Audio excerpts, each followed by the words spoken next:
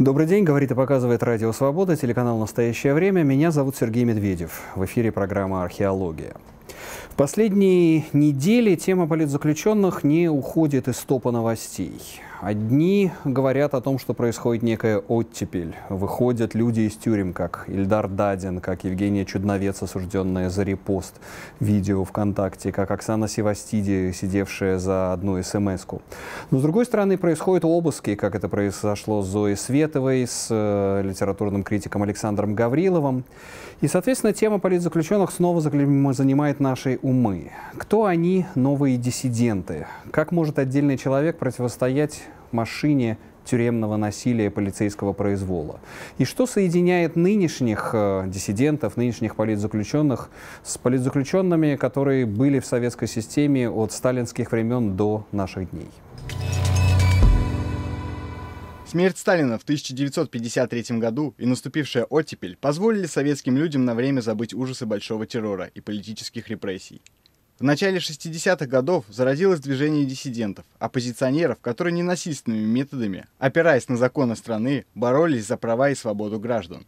25 августа 1968 года они вышли на Красную площадь с плакатами «Позор оккупантам! Руки прочь от ЧССР!». Их мирная демонстрация поддерживала демократический путь развития Чехословакии.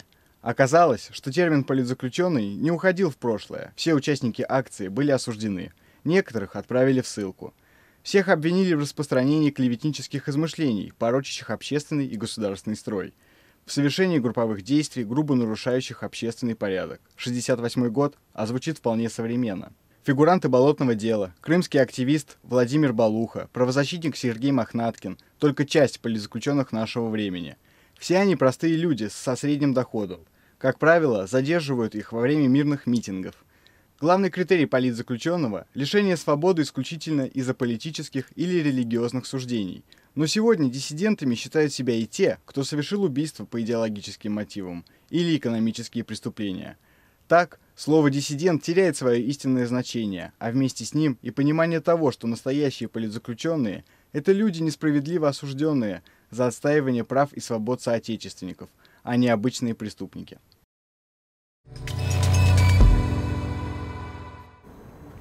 Это был сюжет нашего корреспондента Антона Смирнова. А у нас в гостях сегодня в студии «Радио Свобода» правозащитник Ильдар Дадин.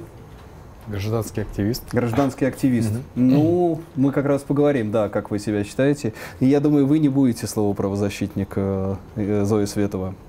А, Нет, но я правозащитник и журналист. Правозащитник и журналист э, Зоя Светова. Гражданский активист Эльдар Дадин, правозащитник Зоя Светова. Эльдар, еще раз поздравляю вас, еще до эфира Спасибо. это сделал. Очень рад вас видеть в этой студии. Три месяца назад мы здесь сидели с Э, Ольгой Романовой, э, Евгением Левковичем обсуждали ваше, ваше заключение, ваше письмо, все, что происходило в связи с вашим заключением. И даже в голову тогда не могло прийти, что через три месяца вы будете сидеть здесь. Так что немножко это даже маленькая победа для, для всех, для всех, для нас. Я думаю, конечно. А как вы считаете, почему, я думаю, уже много раз вы в эти дни отвечали на этот вопрос, но все же еще раз, почему произошло вот это вот чудо освобождения? А, я все больше, я изначально был уверен именно в этом мнении, что в основном именно из-за давления гражданского общества. Гражданским обществом я называю не только честных, порядочных людей России, но и честных, порядочных, неравнодушных людей всего мира. Я в этом уверен. А все остальное обоснование оттепелью, еще чем-то, это, скорее всего, мне кажется, спускают сверху от наших преступников, государственных преступников, э, не указания, а в общем, попытки создавать видимость того, что неудобна эта ситуация, которой им пришлось подчиниться, что якобы все под контролем, чтобы придавать себе больше легитимности. А на самом деле я уверен, что в первую очередь давление гражданского общества. Слишком неудобно было держать меня.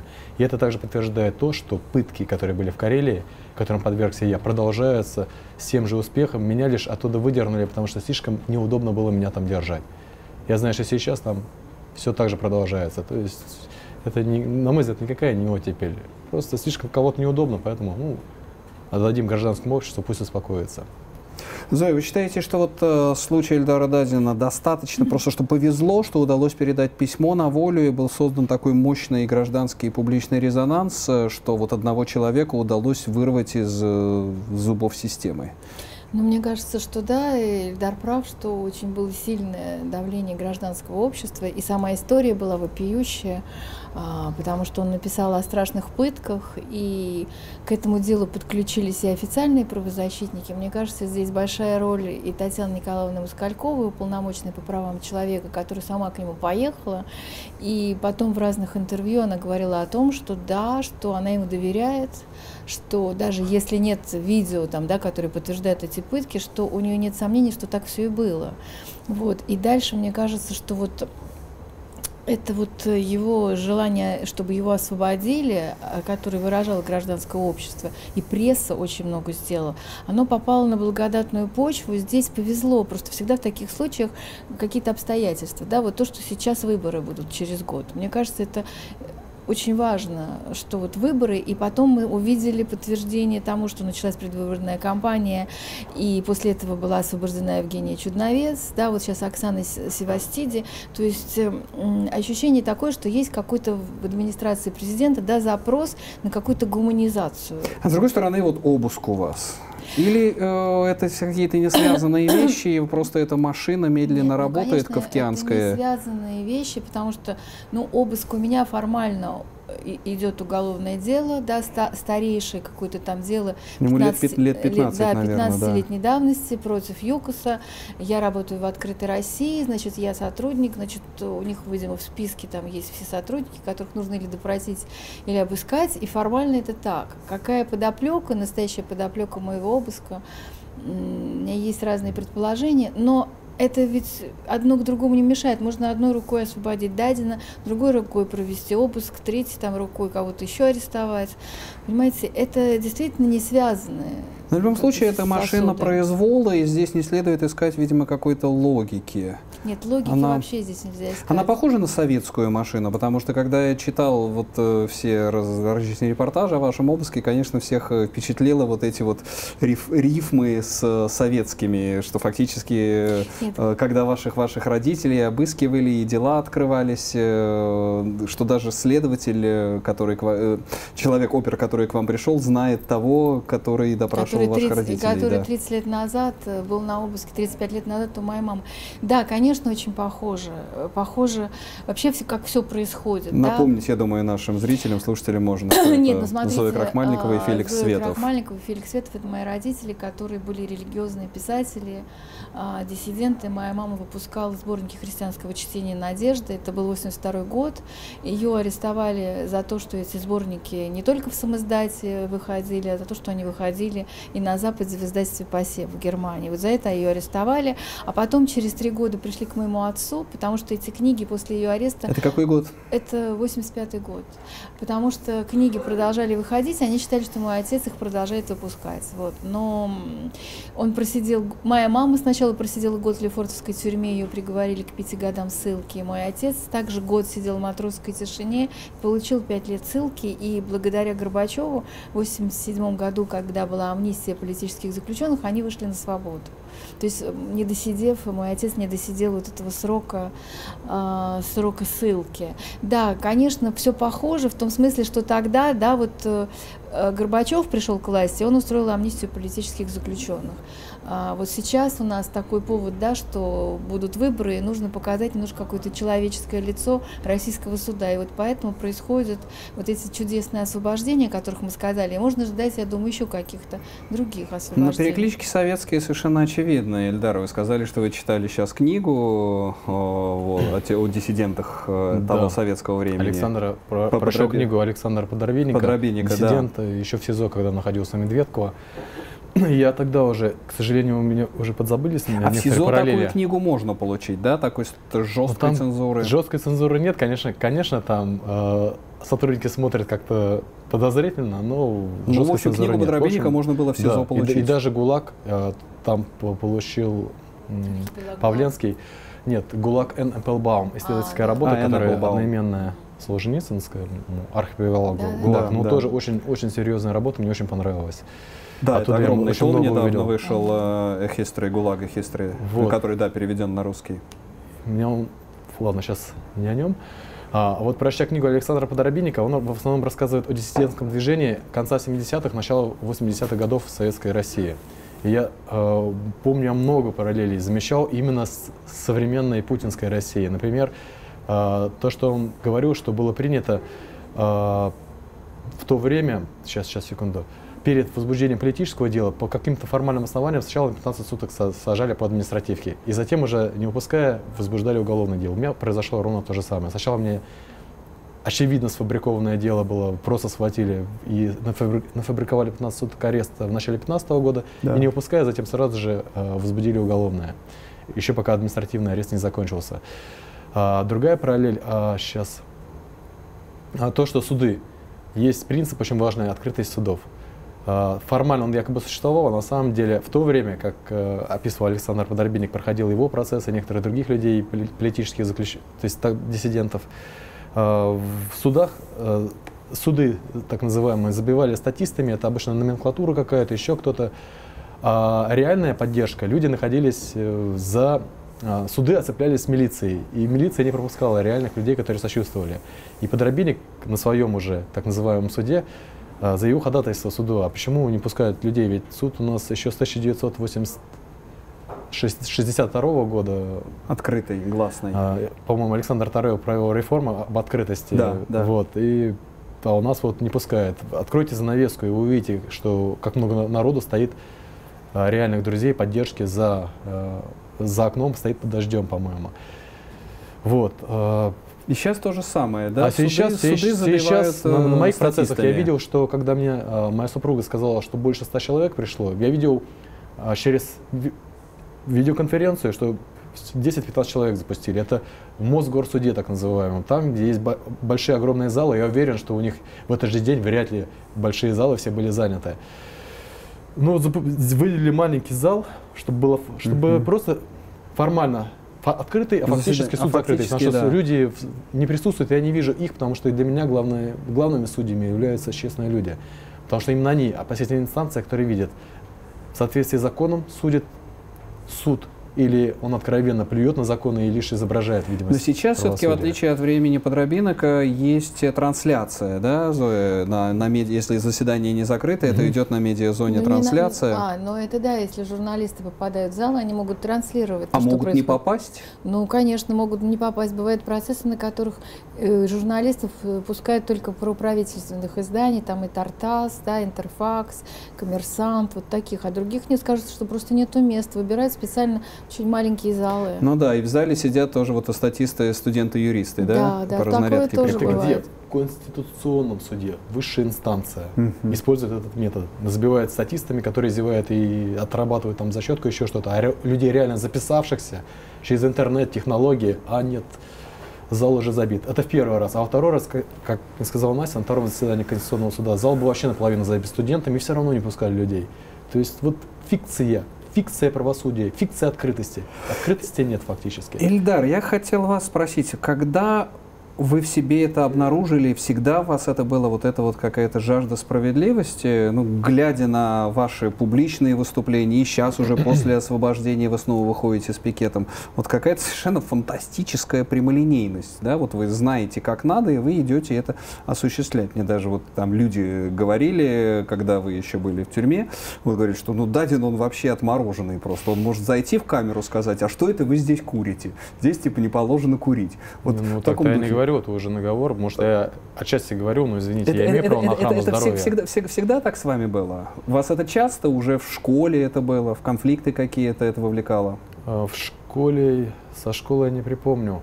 Я помню, что у меня с детства, может быть, это в семье антипример было. Я видел, что, например, отец, восточное воспитание, мужчина всегда прав, женщина, место женщины на кухне, мужчине не положено делать то-то, и очень многие обязанности возлагал на мою мать. И мне с детства появилась вот это вот, я, почему такая несправедливость? Я с, детства, По отношению к матери? Да, я с детства считал, что и, и видел, считал, видел то ясно, что мать и отец должны быть равными, никто не должен никого унижать.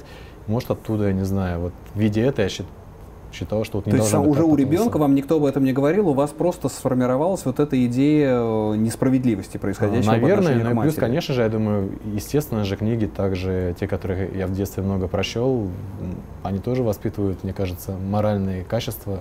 А первое столкновение с системой когда случилось? Э, Наверное, в армии с дедовщиной. Еще уже зная о том, что прекрасно, что дедовщина есть практически, практически во всей армии, я в 2002-2003 году служил, я уже понимаю, что избежать мне вряд ли получится ее, так как я два раза поступал в институт и два раза вылетел. А в каких войсках? Морские части пограничных войск. Так. Они тогда как раз поступили под ФСБ, и это считалось элита. Хотя, на мой взгляд, это очень плохо, потому что ФСБ это бывшие КГБшники, то есть, по сути, чекисты. Вот, и э, я уже видел неизбежность того, что придется идти в армию, но я не собирался мириться с этим и думал, что я буду, по крайней мере, этому противостоять, потому что, на мой взгляд, казалось несправедливо, что кто-то имеет право унижать другого. Так, и что, получилось э, как-то Нет, вот э, противопоставить меня- меня так же, там, как и ВК-7, сломали буквально. Только наш отряд московский из где-то 100 с чем-то человек приехал в Анапу, в Ущепку, нас завели в роту. Туда зашло к 180-150 человекам 7-8 старослужащих. Они сразу всех заставили принять упор лежа, начали издеваться. И как я уже не раз рассказывал, я договорился с двумя татарами, пока мы ехали в поезде. Ну, если все понимают, что будут бить, скорее всего. Да. Если что, попробуем друг за друга заступаться. И когда всех заставили принять упор лежа и начали заставлять отжиматься, а кто плохо отжимался, того избивать, то младшего, это было двое братьев татар, младшего брата, который находился через одного человека от меня, тоже начали избивать. И вот я тогда уже почувствовал, что то, что я не встал и хоть как-то не попытался защитить его, помочь ему, я уже чувствовал себя весь год презирал. То есть за то, тогда что я пришло, пришлось все-таки, несмотря на вас уговор, э, то есть вы и Я тогда нарушил 100 его. 150 человек не смогли противостоять семи старослужащим. А, да, потому что эти 150 человек это как и наши протестные митинги. Это огромная толпа, но это толпа одиночек. А эти 7 человек не знают друг друга. Ты даже вот, дай бог, с двумя-тремя якобы договорился, а там, когда ты приезжаешь, еще э, начинается, ну, наша, пока приехал этап, этапа, этапа, скажем, Да. по тюремному. Сначала всех вместе держали, но потом, даже если кто-то договаривается, всех распределяют по разным ротам. И дай бог, 2-3 человека попадут в одну роту. А рот там очень много. И в итоге, даже если кто-то договорился, скорее всего, их разведут по разным ротам. То есть, а тут старослужащие, уже сплощенная команда, 7-10 человек, которые знают друг друга, которые часто еще и наделены уже низший командный состав, это как какие-то звания, и офицеры говорят, только попробуйте, ну, не совсем официально, пальцем тронуть, это сразу уголовное дело или что-то такое говорили. То есть они защищены и офицерами своими званиями, и тем, что сплощенные, и тем, что молодые не могут ходить между ротами, а старослужащие спокойно могут себе Ну, прийти это и да, я собраться. думаю, с То есть этим- там много, это кажется, что а, 150 человек приехало, и они Ну да, испугались каких-то. ну, По факту там столько- Сложно, сло- сложно, сложно противостоять. Ну, еще да, Ты еще, быть- еще спрошу вас, избитым как, как это. сразу же, если, если противостоишь, если у тебя есть мужество. Мне его не хватило. Но вы по- потом уже этот опыт и это унижение, которое было, вы уже потом сейчас э, каким-то образом вы из этого опыта исходите. Естественно, То, как вы выходили с пикетами, и как время. вы вели себя в тюрьме. Именно, я презирал себя все время за этот поступок и надеялся, что я снова не сломаюсь, и что у меня хватит мужества оставаться человеком до конца и не вести себя как позорный, трусливый раб, как жалкое ничтожество. Но ИК-7 показало, что можно причинять человеку такие создать и- у- искусственные, нечеловеческие условия, такую физическую нестерпимую боль, что он единственный выход будет, и сломается, единственный выход будет видеть это в смерти, в том, чтобы избежать, прекратить эти страдания. То есть может, на мой взгляд, сломать практически любого. То есть, э, ну если да, вот это в ваших, ваших признаниях, то, что вы говорили, что, да, кажется, вот Эльдар Дадин, железный Эльдар Дадин, но то, что вы, вы раска- рассказываете, там на второй минуте этих пыток фактически уже невозможно. Да, хотя перед этим четыре избиения было опускание головы в унитаз. Оно меня тоже уже сломило отчасти, хотя я старался не вестись. Это у, тю- у тюремщиков, то есть не у тюремщиков, это в криминальном мире считается, если опустили голову в унитаз, то опущено это все уже практически хуже смерти.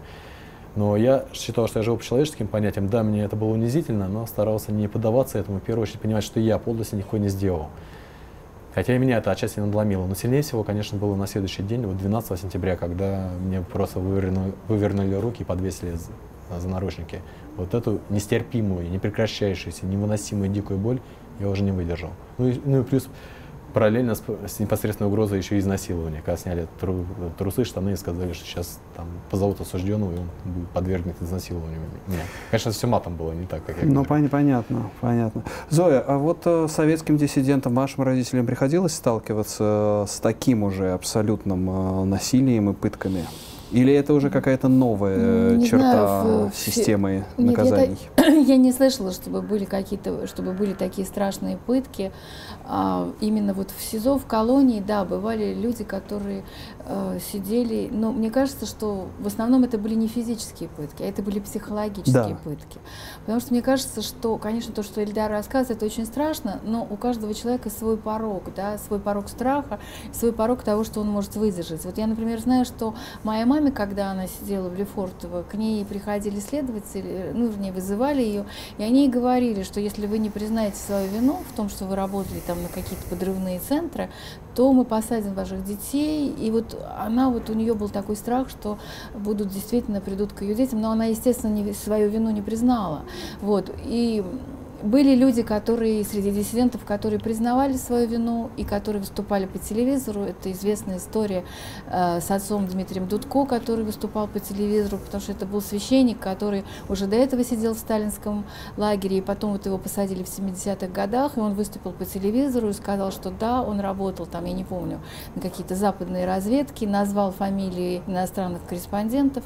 Вот еще были такие же люди, которые несколько человек. Ну да, то есть больше-больше психологическое. Тогда, Действительно, и конечно, читая то, что происходило в 60-х, Да, я не 70-х, помню, я боюсь ошибиться, но я не помню, вот, чтобы после ужасов такие. Сталинщины. Да, потому Да. что вот читая вот то, что Эльдар говорит, и сейчас то, что там Елена Масюк недавно в «Новой газете» писала, я как бы отсылаюсь уже туда, куда-то к Шаламову и к тому, что читаешь о 30-х и 40-х годах. Мне кажется, что все-таки при всей авторитарности советской системы, при всех ее ужасах в 60-х, 70-х была хотя бы какая-то подобие а, вот, следования на правовым нормам. А Гораздо сейчас вот пришел какой-то новый беспредел, как в 30-е годы. Ну да, но мне кажется, что это о том, что пытают э, в российских колониях, э, это, это было известно уже давно, еще и до случая с, с Эльдаром. Да. И все как бы известно и на следствии, что пытают и в, и в отделениях полиции, и даже пытки, как бы есть список определенных пыток, да, и такое впечатление, что есть какой-то учебник,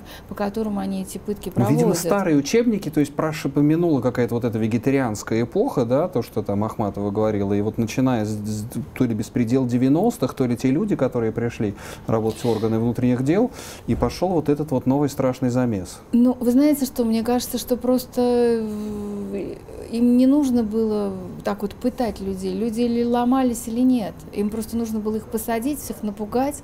Вот когда все времена, да, Да. в диссидентские времена. И этих людей было так мало, на самом деле. Но да, здесь еще проблема, понимаете? проблема масштаба. А, здесь же выбивают показания не только у политических, вообще случай Эльдара, мне кажется, стоит особняком, потому что из политических, кого пытали, но только украинцев, вот эти украинские дела Олег Сенцов, М. э, Кольченко, Афанасьев, да, Чир, Чирний, э, Валентин Выговский, вот этот обвиненный в шпионаже, это вот людей, которых тоже пытали, а других политических я не Подождите, знаю, Мохнаткин, Дарья Полюдова. Но их не пытали физически. Мохнаткин у него с, с позвоночником и Ну, якобы его пал. сейчас- Его Его при задержании его, его- очень жестко да, задерживали, его- по-моему, Нет, да? в колонии Я его не изучил Да. эту ситуацию. Нет, Или в колонии его там избивали, но как бы это не такие пытки, которые были с вами. Ваши пытки, они скорее напоминают вот те пытки, которые бывают у людей, когда из них хотят выбить показания. Или когда они унижают людей просто вот общеуголовных. Я имею в виду политических, я не слышала, чтобы вот именно при- применяли такие пытки политические, кроме вот этих Узником украинских. Болотной, насколько я знаю, А? вроде бы. Узников По Болотной. Болотной, да, я не слышал, Нет, чтобы... нет, Да. поэтому да, настолько было и странно вот ваше письмо для людей, которые, для меня лично, которые связаны Оно, оно, конечно, как бомба, как бомба Э, взорвало. да. Мы понимали фоново, что это происходит, но ваши свидетельства, оно действительно как Нет, бы мы вз- пони- вза- Нет, но потом было уже очень много свидетельств просто уго- людей по уголовным преступлениям, которых также страшно пытали. И до этого они были, и потом. Но я хочу сказать, что вот этот случай уникален тем, что человек политически заключенный, что к нему применили пытки. Почему они в этой колонии осмелились такое сделать? Они же могли предполагать, что, что будет такой резонанс. Наверное, не понимаете? предполагали. Почему они Вот, все ну, может быть, подумали? может, характер Эльдара вот такой вот, так Я сказать, нон- уверен, нон- нон- практически. нонконформистский, просто их из Я себя думаю, что- вывел, что именно на личность они среагировали. Я практически уверен, что я знаю, что пытки были практически всегда и с подвешиванием, и даже с убийствами. У меня брат в 2009-2010 году сидел в Брянске, его пять раз подвешивали за наручники. Да, но ваш примерно так же, как не меня. был Не, ну, Он- я, я, я говорю о том, что в, у Уголовников, уголовников, да. ну, Копейск, мы знаем, Правильно, это так я как- когда там говорю про убили это, несколько человек. Вот повсеместно. Я хочу сделать вывод. Да. Э, Но политических, как если судить по узникам Болотной, у нас еще все-таки боялись трогать. Ну да, Именно здесь... а я Так и уверен, почему? что, что у. Косева, скорее всего, не- по неофициальным каналам были какие-то гарантии безопасности данные, и наоборот, даже, возможно, указания, что этого политического ломать. То есть, ну, я не могу по-другому говорить. Я считаю, что нужно вещи называть своими именами. Путинский, чекистский режим уже настолько обнаглел своего беззакония, что уже и политически попытался, по крайней мере, как мне кажется, попыт- уже и к ним применять пытки, не только к уголовникам, а уже, а что? Может быть, мы и их уже можем. Ну, это здесь, мне кажется, какой-то эксцесс исполнителя. Может быть, это действительно особенности вот этой зоны и вот э, на- нач- начальника, нача- начальника зоны. Не то, что... Или вы считаете, что на самом Извините, верху да. могло, быть, могло быть дано указание вас таким образом ломать? Когда форм... а, предполагаю, что, возможно, было дано, естественно, не самим Путиным, а администрацией или как-то там пытавшись исполнить, та- тоже экс- эксцесс исполнителей, возможно, но именно администрация президента, не, не Косеева. И почему мне кажется, что все-таки это выше было, а не на уровне Республики Карелия, УФСИН Карелия, Тереха, Федотова или Косеева, потому что сейчас, когда очевидные, на мой взгляд, почти прямые доказательства их виновности, они не только не отстранены, но сидят дальше, и сейчас уже, когда еще резонанс не спал, дальше продолжают избивать и пытать людей, и этому уже есть доказательства. Я уверен, что при том, когда официально сверху идут распоряжения, а Путин дает проверку, и чуть ли не дважды проверить СИН, а они себя так спокойно чувствуют, и еще в, в ноябре, после отпуска, Косев не успел только вернуться, а уже мне со мной опять грубо разговаривает. То есть он чувствует, что по неофициальным каналам, то есть я уверен, ему поступила информация, все будет нормально. Официально будем э, разводить Нам сейчас, сдавать. а, нам, да. сейчас, нам сейчас нужно будет сделать перерыв. Мы и так уже просто настолько Да, конечно. разговор интересный, что мы перебрали даже минут 10 до перерыва. Но я думаю, ничего, наши зрители, а, слушатели наш простят. Напомню, что вы смотрите программу «Археология» на телеканале «Настоящее время». Слушаете на Радио Свобода. Мы вернемся буквально через мгновение. И снова здравствуйте. Программа «Археология» на Радио Свобода на телеканале «Настоящее время». Меня зовут Сергей Медведев. И в гостях у нас э, диссиденты и гражданские активисты. Это Эльдар Дадин, Зоя Светова, ньюсмейкеры последних недель, последних месяцев. Эльдар, еще раз поздравляем с освобождением из Спасибо. тюрьмы. А, Зоя еще тянется все это дело много лет идущее, по которому недавно у вас были обыски. И сейчас я хотел бы задаться вопросом о а, политзаключенных.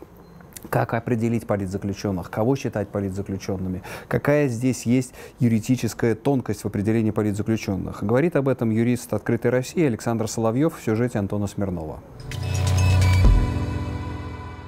Меня зовут Александр Соловьев, я координатор проекта «Открытое право в открытой России». Этот проект недавно запустился, с февраля месяца примерно.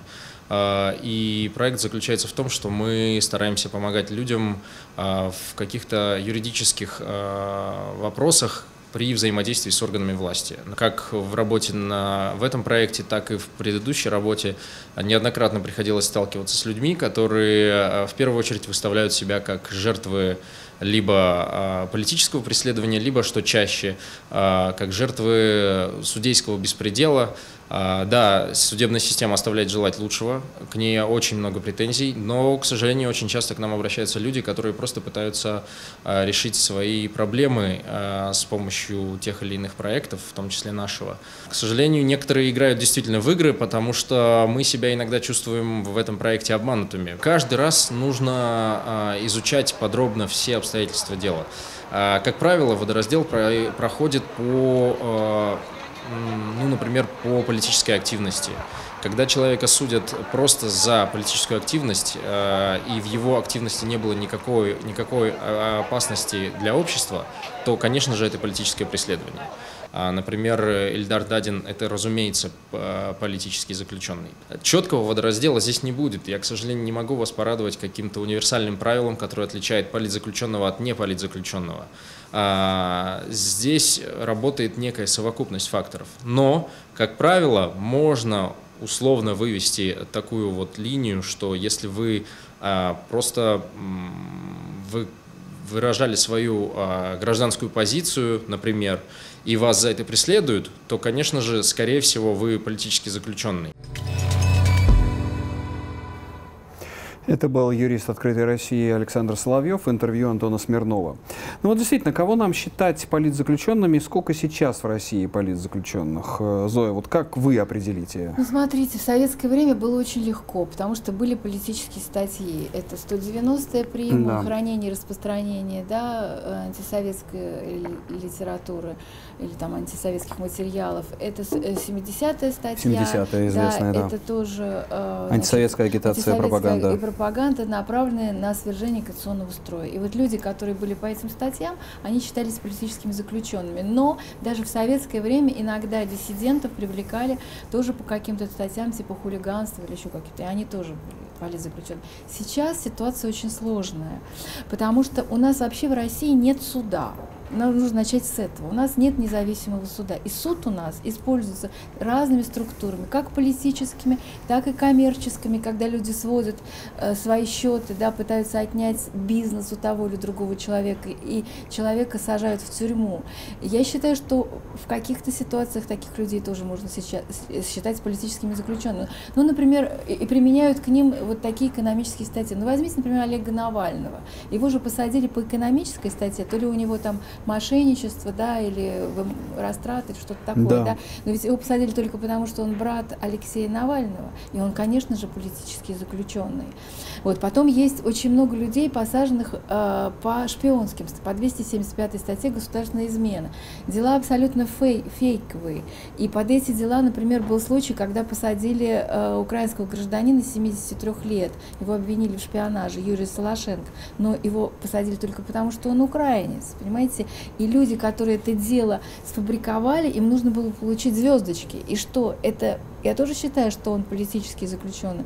И таким образом это политически был заказ на него. Понимаете? То есть много-много таких случаев. Конечно, проще всего, например, с таким людям, как Ильдар Дадин, да, или Дарья Полюдова, которую э, посадили за то, что она проводила митинг за, за федерализацию Кубани. Ну, да. Сен- Сенцов и Кольченко, я Сенцов и. Кольченко это опять же украинские поли- политические заключенные, потому что они были против аннексии Крыма, только за это их посадили. Понимаете, то есть тут очень тонкие моменты. Развожаев.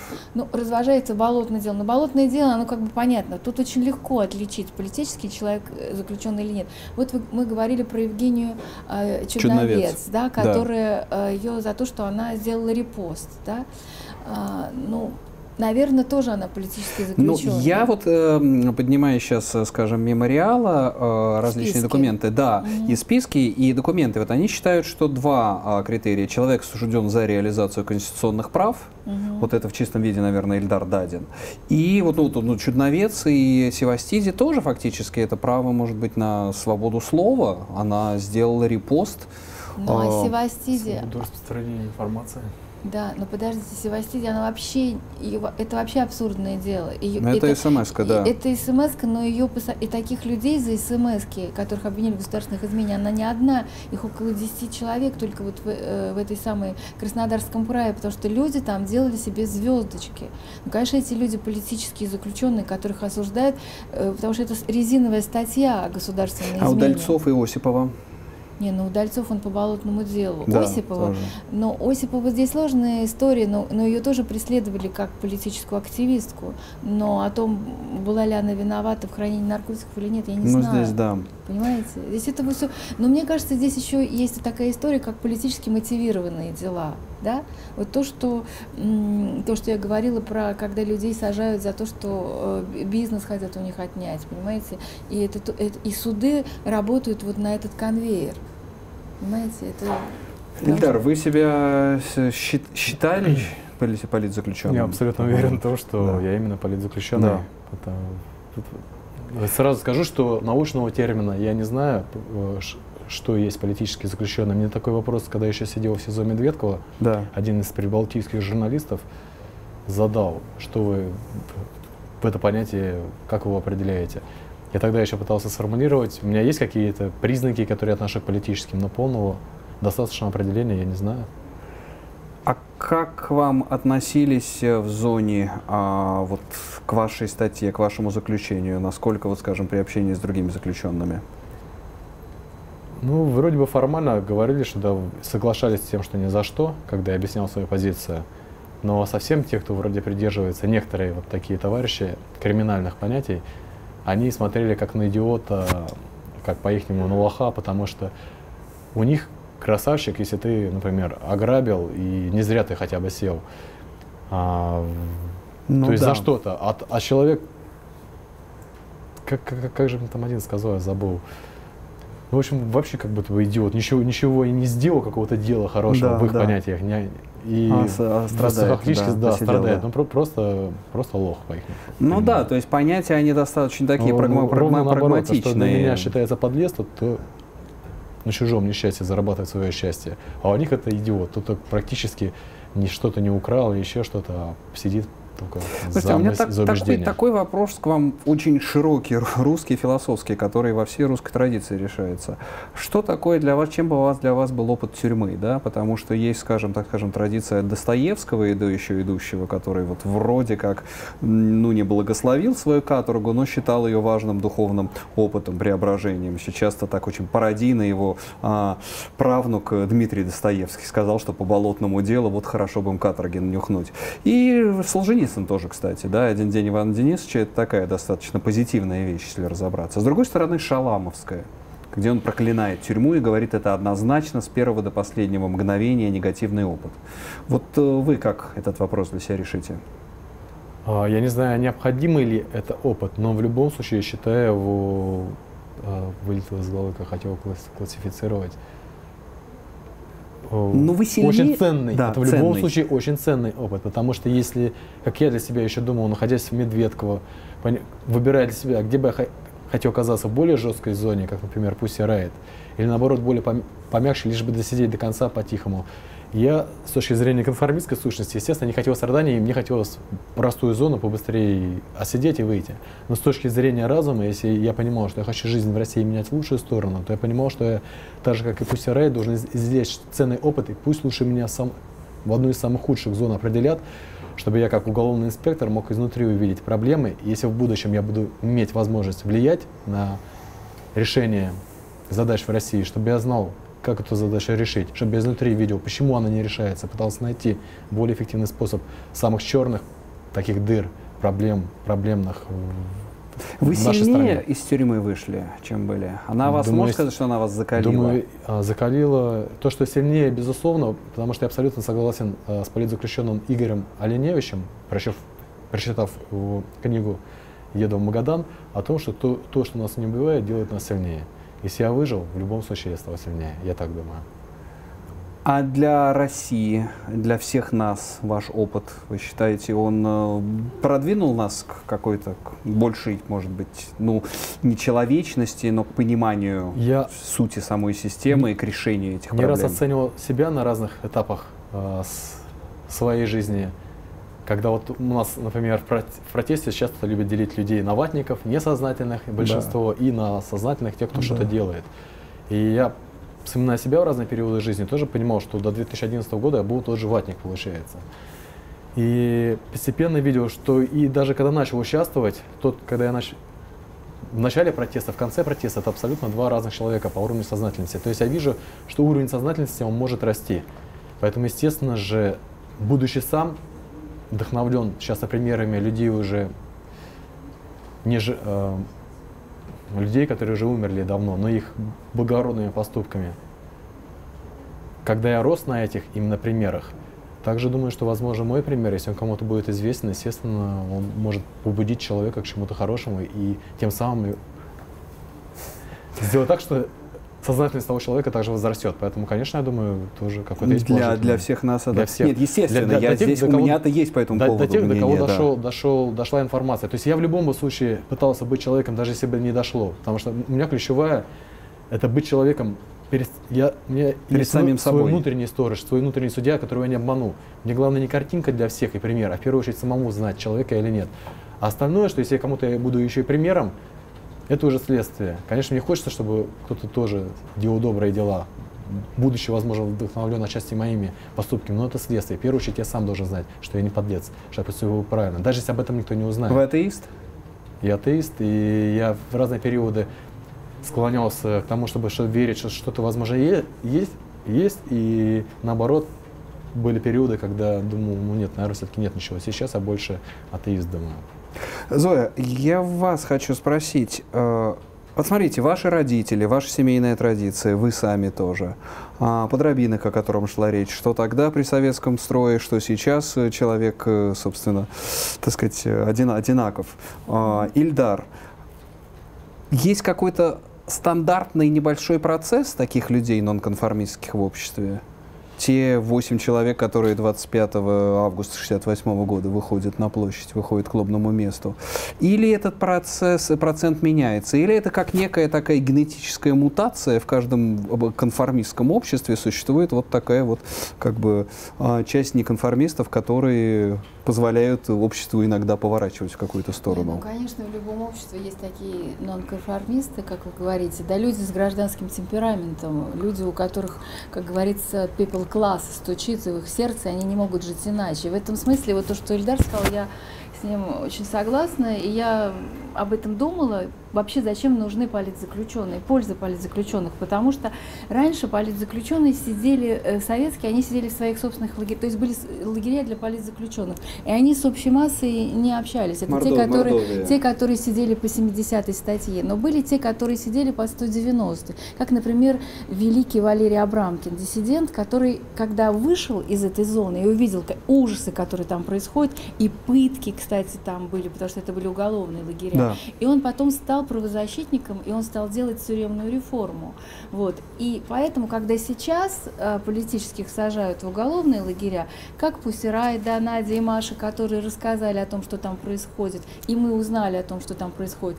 Э, Толоконников рассказал о арабском труде, раньше об этом особо не писали, да, женщины, потому что вообще не жалуются. Ильдар вот рассказал о пытках, и мы об этом все услышали. И в этом есть большая польза сегодняшних политзаключенных, потому что они попадают в уголовные лагеря, и они, они не боятся, потому что обычная масса людей, они не выходят. Очень редко, когда к журналистам выходят, да, и, может быть, после вот этих опытов-то Ильдара начинаются сейчас к Елене Масюк люди обращаться. Ко мне, например, обратился один человек и тоже рассказал, как пытали на, на, на Алтае, понимаете, в колонии. Ну да, то есть, вот. то есть Поэтому здесь это очень важно. Не, такое неожиданное сочетание да, вот этого огромного насилия, массы насилия с граждан, с отдельными гражданскими да, и люди, сознательными. которые не хотят это терпеть. Ильдар очень правильно говорит, он же не для, не только для себя об этом рассказал, а чтобы с другими такого больше не было. Сейчас-то он горит и хочет продолжать об этом рассказывать. И люди такие становятся правозащитниками, которые защищают права заключенных. Спасибо. Напомню, что вы смотрите программу «Археология». У нас в гостях Эльдар Дадин и Зоя Светова. Мы продолжим буквально через мгновение. И снова здравствуйте. Программа «Археология» на Радио Свобода на телеканале «Настоящее время». Говорим сегодня о политзаключенных, о диссидентах, о людях в тюрьмах и о насилии в тюрьмах. В гостях у нас э, гражданский активист, правозащитник Зоя Светова, журналист и гражданский активист Эльдар Дадин. И сейчас, в заключительной части нашей передачи, хотелось бы поговорить о феномене насилия, которое открыл в своем письме, в своем страшном свидетельстве из зоны Эльдар Дадин, и э, о котором мы сейчас узнаем все больше и больше. Вот тех, кто, может быть, не читал, э, призываю прочесть последний материал Елены Масюк в «Новой газете», где факты приведены приведены совершенно страшные, которые просто говорят, что мы живем с каким-то гестапо, с концлагерями внутри нашего государства. И мы спросили, э, вернее, наш корреспондент Антон Смирнов спросил психолога Сергея Николопова, в чем функция, в чем роль насилия, почему так велика роль насилия в российских тюрьмах? Большая скученность людей в определенном помещении, ну, на территории. Значит, Э, начинается своя игра, э, тоже антропологическая. Место в иерархии, какова иерархия, структурирование вот этого замкнутого пространства. А при этом там три действующих силы. Собственно, заключенные, администрация и внешние силы, есть описание э, жизни Шлиссербурга как крепости и тюрьмы. Значит, в начале благостная картина, начальник тюрьмы на гумани... на... из гуманных соображений обходит, беседует с заключенными в одиночку преступниками. им доставляют свежие булочки. Значит, они еще время от времени шумят по поводу того, что булочка немного черствая. Потом выясняется, что в булочку уже успели вставить пилку или письма. Начинается ужесточение с одной стороны, борьба с другой стороны. Эскалация доводит всех до состояния, когда э, начинают и бить, и пороть, и в ответ на это какие-то, так сказать, действия, то голодовка, то бунт, то и прочее. Все начинают играть в определенную игру. Ну, это такое домино получается. Бе- ну, как бы нарастание. Это эскалация с двух сторон. А, В ответ на ваши действия я предпринимаю свои действия, в ответ на мои действия вы предпринимаете еще одни действия и так далее. А прекратить возможно? Вот просто А, прекратить. В принципе, думаю, что да, но для этого нужно э, очень системно мыслить. Что мы хотим? А, Это разные задачи. Если общество ставит перед собой задачу, чтобы они были там, сидели и мучились, то это другой, один вопрос. Если общество считает, что главное, чтобы мы их изолировали, а там как-то выстроиться, то это другое решение задачи. Если общество считает, что нужно, э, чтобы они вышли с меньшим потом рецидивом, то это третья задача. Поэтому э, это не решение одного человека, это решение общественное, что люди хотят. Это психолог Сергей Николопов э, в интервью Антона Смирнова. Ильдар, а вы для себя как объясняете, в чем функция? Можно как-то рационально объяснить вот это вот э, концентрированное насилие, свидетелем и жертвой которого вы стали? А, Даже не в том случае, что, так сказать, если вот про вас вы сказали, да, может быть, был отдельный заказ, работали именно по вам, но это же, вы же понимаете, и не по политическим, а в целом. Почему в тюрьмах так используется насилие? А, Мне кажется, кажется, что это проекция, я даже в этом уверен, а, именно образа действия кремлевской преступной власти. Подчинить человека любыми средствами, преступными, непреступными. А если, а если, Слом- подчини- а если подчинил, насилие можно избежать? Если ты с самого начала пришел, прогнулся, полностью слушаешь администрацию, Я Этого читал, можно избежать? Я, я читал э, опросы Настины э, по тем осужденным, которых пытали. Я видел, что некоторые, как мне показалось, может, там не совсем достоверная информация, изначально пытались подчиняться. Но это не, не служит иммунитетом от... Если пытки построены я не знаю, как это объяснить. Уже если это система пыток, через которую проходит, проходит абсолютное большинство вновь прибывающих, то мне кажется, кажется, даже прогинание перед этой системой уже не, Не помогает. поможет. Потому что эти люди уже привыкли унижать, как для них, уважать какого-то человека, который не прогнулся, так им привычнее избить и привычнее заставить его целовать стену. А, Просто я не знаю, как это объяснить. Там вот именно в Карелии, в отличие от многих изоляторов ДО, в отличие от ИК 5 Алтайского, от других изоляторов, пока я ехал в ИК 5 по Алтайскому краю, вот там э, в- именно в ВК-7 создана команда садистов. И там уже не важно, прогнулся ты, не прогнулся, они уже по-другому не могут относиться. Они относятся к тебе как к рабу, как к ничтожеству, как... это патология какая-то, им это важно для самореализации. Это уже как и классический э, психиатрический случай садистов. Я не знаю, как здесь объяснить. Это, это искусственная созданная команда для того, чтобы ломать всех прибывающих туда людей. Зоя, а вот по, ваш, по вашему опыту искусственно общения, а, это э, системно, это вообще это язык системы, да? И система уже не умеет иначе говорить. Может быть, так сказать, он и хотел бы сказать человеческим словом, а он вместо этого бьет тебя дубинкой по почкам. Ну, смотрите, это же не все колонии пыточные. Не зря же, например, у Льва Пономарева есть даже на сайте карта пыточных российских колоний. Да? Это есть те колонии, которые считают пыточными, куда специально направлять людей, которых нужно ломать. Да? Известно, что там воров в законе направляют куда-то. Да? Специальные колонии, есть страшные колонии в Омской области. Да? Теперь мы знаем, что в Карелии. И люди специ... говорят о том, что мы боимся именно туда поехать. Я много раз брала интервью у разных людей, которых избивали. И последний раз вот был такой Леонид Красных, он из Байкальской, э, из, Бай- э, простите, из Алтая. Я его спросила, почему они, какой смысл, зачем они вас били, и других также зачем били. А он говорит, что смысл только один – подчинить себе. Просто подчинить и сломать волю человека, чтобы он был как раб. И, чтобы... и тогда с ним можно делать все, что угодно. Понимаете? Что это такое? Э, если какая... И потому что еще почему? Потому что они считают, сотрудники пенитенциарной системы, они считают, что люди, а они раз они, они преступники, и с ними можно говорить только так. Может быть, они в какой-то степени их боятся, да, и сами, и уже при, другого языка просто не знают. Последнее, mm-hmm. что я хотел а, спросить вас, вот ваши чувства по отношению к тем, кто вас пытал, по отношению к самой к начальству колонии, к Осиеву, сейчас что это? Вы э, хотите реформировать это? Не знаю, потому что я, когда читаю вот такие вещи, у меня просто какое-то такое чувство мести возникает, желание мести. У вас этого нету сейчас? Желание есть? мести, то есть справедливости и того, чтобы ответственность э, наступ, наступила по отношению к тому человеку, как тем людям, которые непосредственно меня пытали, естественно же есть.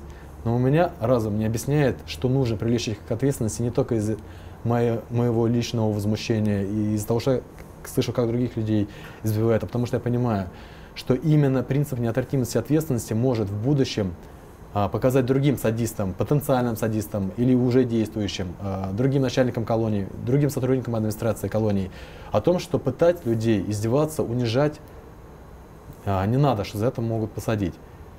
И, так... наоборот, и наоборот, если и Косиев, и Федотов, которые раньше, и Терев, которые раньше были начальниками ИКСМ, потом, я так думаю, распространили по всей по всей республике свои пыточные методы, по всем э, колониям по всем республики. ИК, да.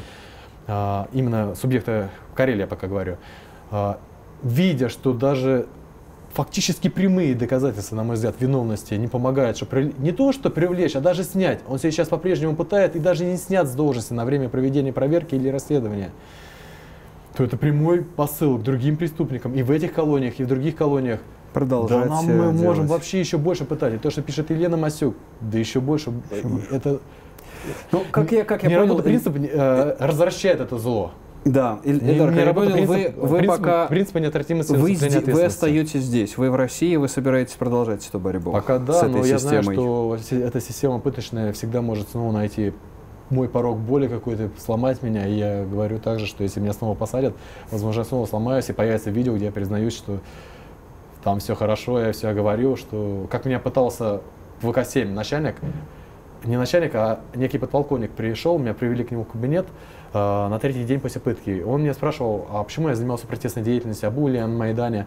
И когда я ему отвечал, что да, занимался протестной деятельностью, да, был на Майдане, он спрашивал, а какие, а кто у тебя были руководителями, кто тебе давал распоряжение, кто тебе, какие источники финансирования? Я говорю, не было источников финансирования Совесть моя, на свою зарплату, что у меня нет других руководителей, кроме совести, извините. Да. А на Майдане я был лишь потому, что хотел увидеть, что там происходит на самом деле. И он, его это так разозлило, ты, видимо, так и не понял, куда ты попал. И а, тут скоро приедут фейсы, мы тебя еще с собой мягко, то есть а, мы еще, то есть они злые, якобы мы еще добрые, то, что подвешивали. Ну, то есть такое экзистенциальное то, абсолютно. То есть, и, и еще, я через две недели еще с тобой поговорю, подумай, что ты должен сказать. То есть я должен был придумать ему, что на Майдане одни американцы, видимо, что у меня какие-то источники финансирования. Я бы это сказал, если бы ко мне снова применили пытки. Я сейчас не, не хочу бравировать, говорить, да нет, я сейчас, даже сейчас будут подвергать пыткам, не удив... Просто запомните, стране, где допустимы пытки, вы можете легко увидеть Ильдара или любого другого порядочного человека, который будет на видео вам такое рассказывать, что он убил, участвовал в убийстве Кеннеди и всего остального. Ильдар, Там, мы прошли 37 год, мы понимаем, что, вот. все, что все это возможно. Спасибо, это спа- спасибо вам за этот рассказ, спасибо за вашу борьбу, спасибо за то, что вы с нами, и слава богу, что сейчас на свободе. Спасибо, что пригласили. Зоя, и вам, и вам спасибо за все, что спасибо. за все, за вашу семью, за всю эту традицию, а, которую здесь представляют Ильдар Дадин, а, Зоя Светова. Меня зовут Сергей Медведев, это программа «Археология». Смотрите «Радио Свобода», смотрите телеканал «Настоящее время», слушайте «Радио Свобода».